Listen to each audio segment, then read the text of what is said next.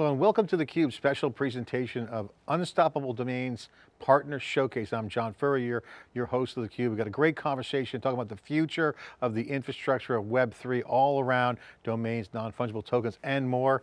Two great guests, Charlie Brooks with Business Development of Unstoppable Domains and Michael Williams, Product Leader and Advisor with Unstoppable Domains. Gentlemen, thanks for coming on theCUBE Partner Showcase with Unstoppable Domains. Thanks John, excited to be here. So I love what you guys are doing. Congratulations on all your success. You guys are on the leading edge of what is a major infrastructure shift, Web3 is being called, but people who have been doing this for a while know that you see the blockchain, you see decentralization, you see immutability, all these future smart contracts. All the decentralized applications are now hitting the scene and NFTs are super hot as, as, as you can imagine, you guys are in the middle of it. So you guys are in, in, in the sweet spot of what I call the pragmatic pioneers. You guys are to building solutions that are making a difference, like single sign-on, you have the login product. Let's get into it. What is the path to a digital identity beyond the web? Because we know what web identity is, but now that the web is kind of being abstracted away by this new Web3 layer, what is digital identity? Yeah, uh, I can take that one. So I, I, think what we're really seeing is this transition away from uh, a purely physical identity, where your digital or where your where your online identity is really just a reflection of the um, the parts of your physical identity, where you live, uh, where you go to school, all of these things. And we're really seeing this world emerge where your online identity becomes much more of a primary.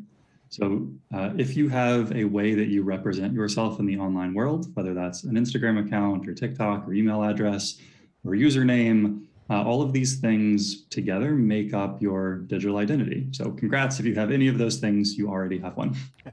Yeah, we see that all the time with Linktree. People put their Linktree out there and it's got the zillion handles you're, we all have, GitHub to Instagram. I mean, everyone's got like zillion identities.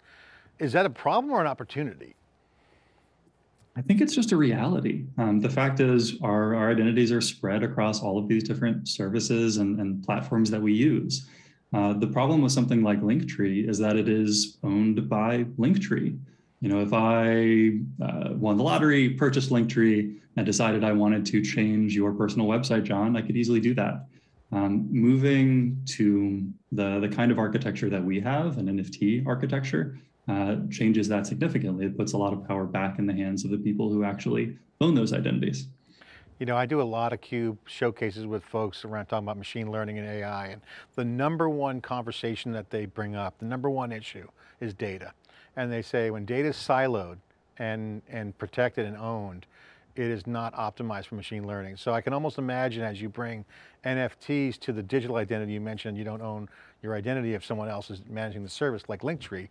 This is, this is a cultural shift. This is, and, and a infrastructure software shift at the same time. Can you guys expand more about what you guys are doing with the NFT and Unstoppable Domains with respect to that digital identity? Because is that power shifting to the users now?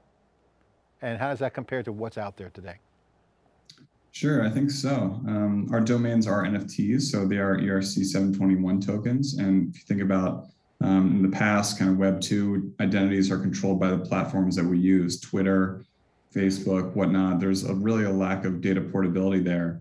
Um, our accounts and data live on their servers. They can be deleted at any time. So using an NFT to anchor your digital identity really gives you full control um, over your identity. You can't, it can't be deleted, it can't be revoked or edited or changed without your permission. Um, and really even better, the information you store on your NFT domain can be plugged into the services you use so that you never have to enter the same data twice. So when you go from platform to platform, everything can be tied to your existing domain. You're not going to a new site, kind of entering their ecosystem and providing all this information time and time again, and not really having a clear understanding of how your data is being used and where it's being stored.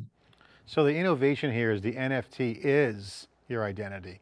Um, and, and a non-fungible token, NFT, is different than say a fungible token. So for the folks out there that's trying to follow the bouncing ball, Michael, what's the difference between an NFT and a fungible token? And how does and why is that important for identity? Yeah, uh, my favorite metaphor here is is baseball cards uh, versus like dollar bills. So a dollar bill is fungible. If I have a dollar and you have a dollar, we can trade dollars, and none of us is richer or poorer. Uh, if I have a Babe Ruth and you have a Hank Aaron and we swap baseball cards, like we have we have changed something fundamental. So the the important thing about NFTs is that they are non-fungible. So if I have a domain and you have a domain, like I have that identity and you have that identity, they are unique, they're independent, they're owned um, by each one of us, and, and we can't kind of swap them interchangeably. And that's why you're seeing NFTs hot with art and artists because it's like a property. It's a property issue, not so much Absolutely. Yeah. interchangeable or divisible kind of asset. Yep. It is. Uh, it is ownership rights in digital form. Yes. All right, so now let's get into what the, the identity piece, I think, find that interesting because if I have something that's an NFT, it's non-fungible, it's unique to me, it's property, my property, my login, this sounds compelling. So how does login work with the NFT? Can you guys take us through that, that um, architecture? What does it do? How does it work? And what's the benefit? Sure. Uh, so the way our login product works is it effectively uses your NFT domain, so Michael.crypto, for example, uh, as the authentication piece of a of a login session. So basically, when I when I go and I try to log in with my domain, I type in Michael.crypto, I sign it with my wallet, which cryptographically proves that I am this human, this is me, uh, I have the rights to log in. And then when I do so, uh, I have the ability to share certain parts of my identity information with the applications that I use. And so it really blends the, the best of the, the ease of use from Web 2 of just a standard like login with Gmail SSO experience with all of the security and privacy benefits of Web 3. How important is single sign-on? Because, I mean, right now people are used to like seeing things like log in with your GitHub handle or LinkedIn or, you know, Google, Apple. I mean, you're seeing people offering login. Okay, what's the difference here from those solutions and why does it make sense for the user? Sure. Yeah. The big difference is um, what we're building is really user first. So if you think about um, traditional SSOs, you are the product when you use their product. They're selling your data. You know, they're tracking everything you do. Um, Login with Unstoppable handles not only authentication but data sharing as well. So when you log in, a domain owner can choose to share aspects of their online identity, such as first name, preferred language, profile picture, um, location. So this is a user controlled way of using a sign-on where they are permissioning these different pieces of their identity. Um, and really apps can use this information to enable new experiences such as, um, for example, website might automatically enable high contrast mode for someone visually impaired. Um, it could pre-populate your friends from a, a decentralized social graph. So what we're doing is taking the best parts of Web 2 SSO and combining them with the best parts of Web 3. So no more losing your password, entering in the same data hundreds of times, you know, depending on other services to keep your information safe. Um, login with Unstoppable really puts you in complete control of your data. And, you know, a big part of that is um, you're not going to have 80 plus usernames and passwords anymore. You know, we have these tools like password managers that exist to um, kind of put a band-aid on this issue, but it's not really a long-term solution. Um, so what we're building is, is really seamless onboarding where everything can be tied to your domain so that you can navigate to different apps um, in a much more seamless way. Michael, I got to get your thoughts on this because on the product side, it's interesting. My mind's kind of connecting some dots. If I have, first of all, great convenience to reduce all those logins, right? So, you know, check there, little pain, pain reduction. But when you think about what's different, I can now broker my data as well as log in. So let's just say, hypothetically, I'm cruising around um, some D apps and I'm you know, doing things and earning reputation or attention or points or whatever tokens, utility tokens. There could be a way for me to control what I own. I'm the product, I own the data. Is that kind of where this is going? I think it's definitely a direction it could go. Um, say, for example, if I'm a e-commerce platform and I'm trying to figure out where I'm going to uh, place a new billboard, you know, one of the things that I could request from a user is their address. I can figure out where they live, what city they're in. That will help inform the uh, the decision that I need to make as a business. And in return, maybe I give that person a dollar off their purchase, right? Like we can we can start to build a stronger relationship between the applications that people use and the people that use them and try to optimize that whole experience and try to just transfer information back and forth to, to make everyone's lives better. What's the roadmap on the business side, Charlie, when you see companies uh, kind of adopting it, They're probably taking baby steps. They're crawling before they walk. They're walking before they run. I mean, I can see decentralized applications in the future, whether it's fintech or whatever, having new kinds of marketplaces that take advantage of the paradigm where the, the script flips to the user first. Okay, so I see that. How do people get started now? What are some of the success momentum points that you're seeing companies do now with Unstoppable? Sure. So a lot of Web3 apps are very sensitive about um, respecting the, the um, information that their users are providing, right? So what we're doing is um, offering different ways for apps to get in touch with their users in a way that is user controlled. So um, an example there is that a lot of Web3 companies will use Wallet Connect to allow users to log in using a wallet address. An issue there is that one person can have hundreds of wallet addresses and it's impossible for the app to understand that. So what we do is we use login, we attach um, an email address, some other pieces to a wallet address so that we can identify who a unique user is. And the app is able to collect that information. Um, they don't have to deal with passwords or PII storage. Um, they have access to a huge amount of new data for an improved UX. Um, it's really simple to implement and maintain as well. So um, one example there is if you are uh, a DeFi platform and you want to reward your users for coming to their site for the first time, now that they can identify a unique user, they can drop a token into that user's wallet, um, all because they're able to identify that user as unique. So they have a better way of understanding their customers. Um, they enable their customers to share data. Um, a lot of these companies will ask users to follow them on Twitter or Discord when they need to provide updates or um, you know bug bounties, all these different things. And login with Unstoppable lets them permission email addresses so they can collect emails if they want to do a newsletter. Um, and instead of sort of harvesting data from elsewhere and kind of forcing people to join this newsletter program, um, it's all user controlled. So each user saying, yes, you can use my email for your newsletter. You know, I'm supporting your project, want to be um, kept up to date with bugs or bounties or rewards programs. Um, so really, it's just kind of a, a, better way for users to to share the data that they're willing to with DApps, um, and DApps can use it to to create all sorts of incentives um, and really just kind of understand their users um, on a on a different level. How is the development, uh, Michael, going on the on the smart contract side of the business? You know, Ethereum has always been heralded as being very developer focused. Um, there's been great innovations, but you still got you know, gas fees out there, you still got to do some things. How is the development environment? How are the applications coming? Because uh, I can see the really, I can see the flywheel kicking in as the developer front gets more streamlined, more efficient, and now you got the identity piece nailed down. I just see a lot of kind of dominoes falling at the same time. What's the status on the dev side? What's your sure. Um, the fascinating thing about crypto is how quickly it changes you know, when I when I joined, um, Ethereum was pretty reasonable still for transactions. It was, it was very cheap to get things done, very fast.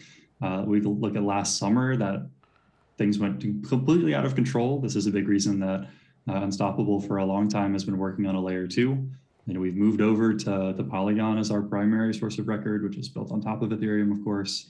I think saved um, well over $100 million in gas fees for our users you know, we're constantly keeping an eye on new technologies that are emerging, weighing how we can incorporate those things, uh, and and really where this industry is going to take us.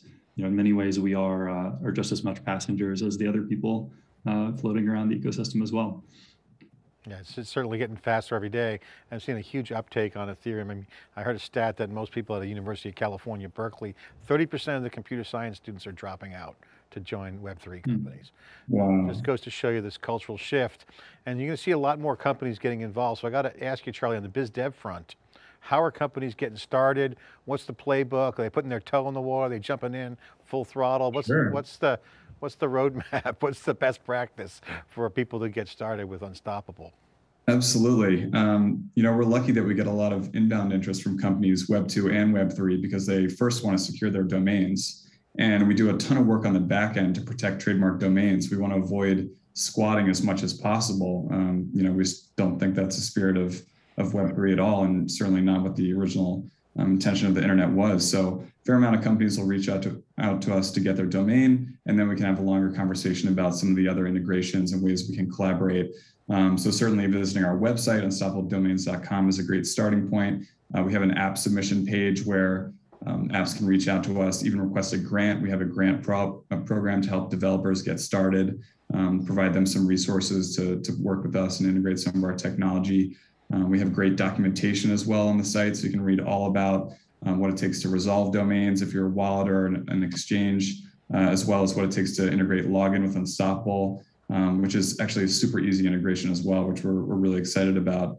Um, so yeah, I'd say check out the website, apply for a grant if you think you're a fit there. Um, then of course, people can always reach out to me directly um, on Twitter, on Telegram, email. Um, we're very reachable and, and we're always happy to chat with projects and, and learn more about what they're doing.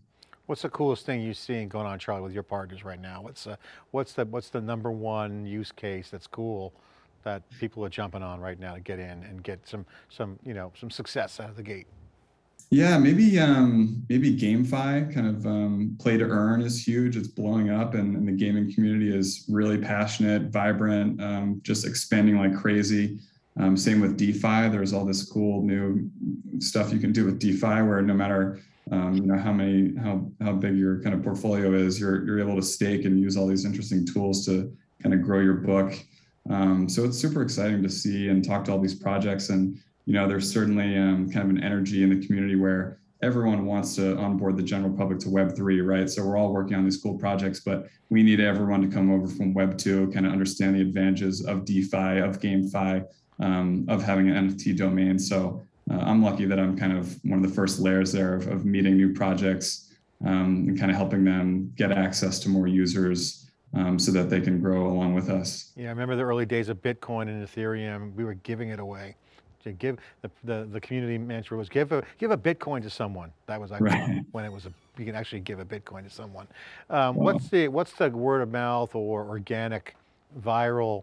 I won't say growth hack because that's got negative connotations. But what's the community's way of uh, putting forth the mission for Unstoppable? Is it just more domains? You guys have any programs got going on? Is it give it away?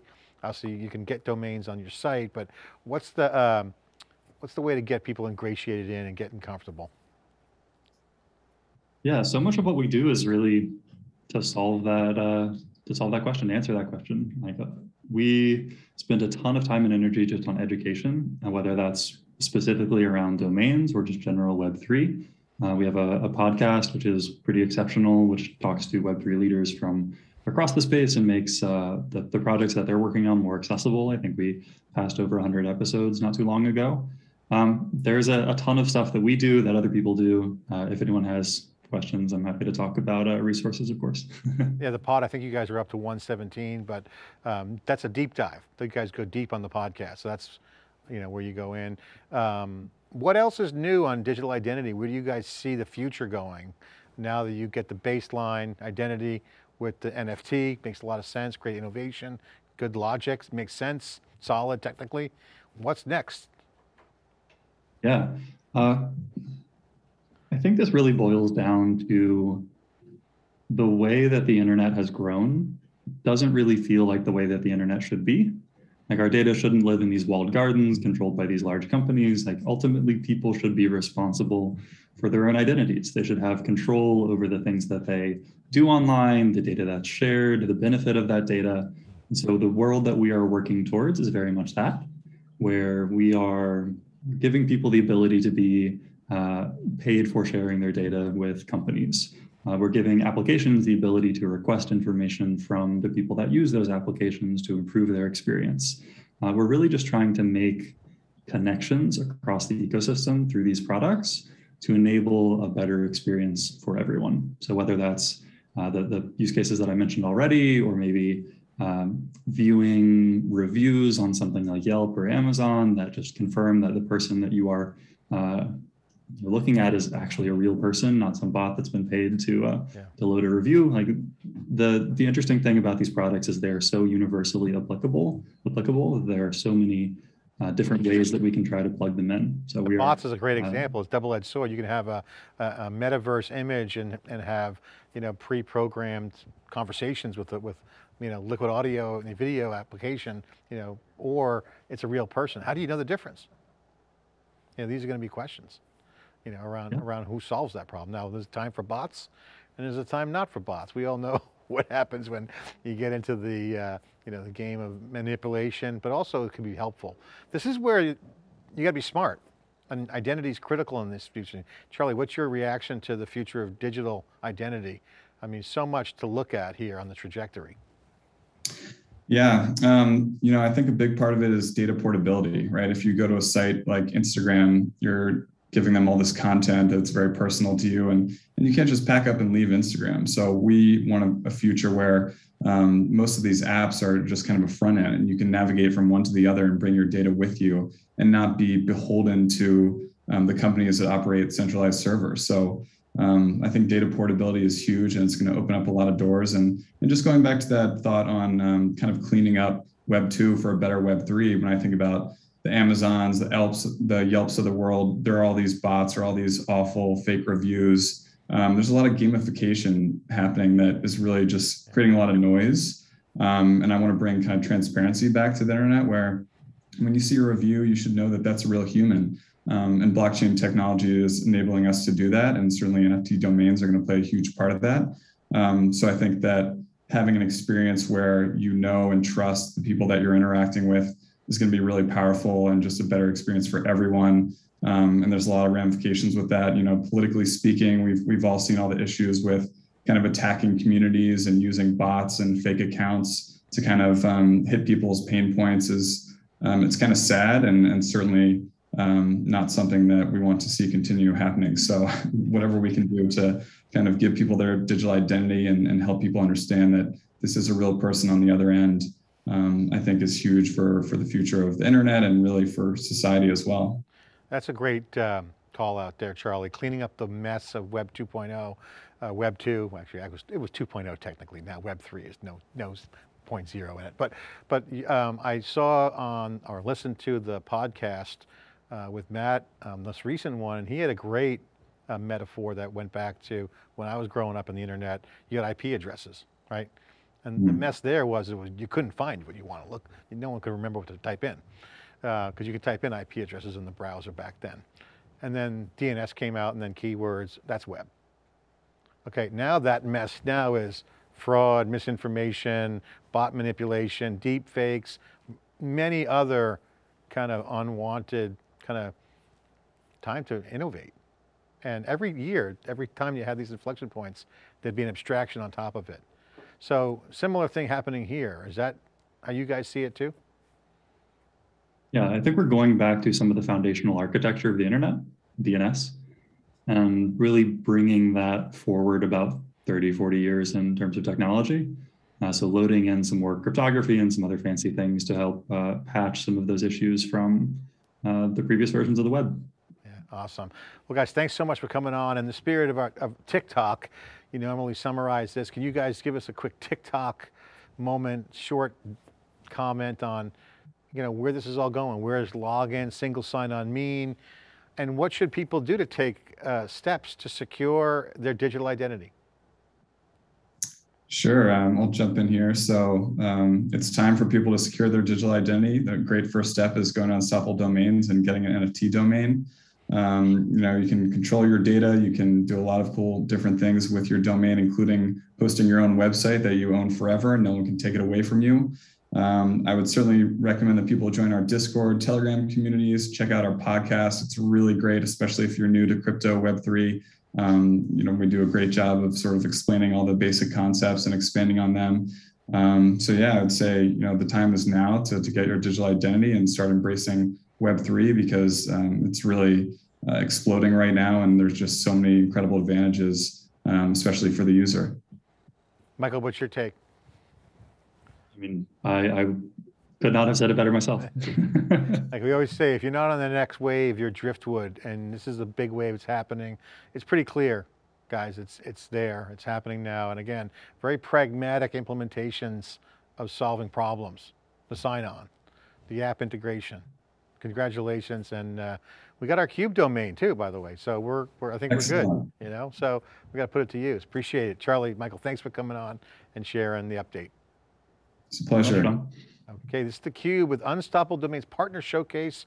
I'm John Furrier, your host. Got a lot of other great interviews. Check them out. We're going to continue our coverage and continue on with this great showcase. Thanks for watching.